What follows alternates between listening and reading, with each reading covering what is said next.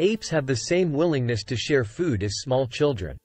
In lab experiments, chimpanzees and bonobos share peanuts and grapes with other apes who shared food first, doing so at about the same rate as four-year-old children. Chimpanzees and bonobos exchange food with others who share with them first, showing similar levels of cooperation and reciprocity as four-year-old children. Food-for-food -food exchanges are common in human societies, but these trades are relatively rare among animals like chimpanzees, bonobos and gorillas.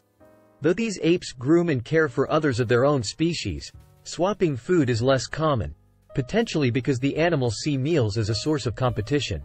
Researchers began by testing if 10 chimpanzees, pan troglodytes, and two bonobos, pan paniscus, would share food with each other unprompted.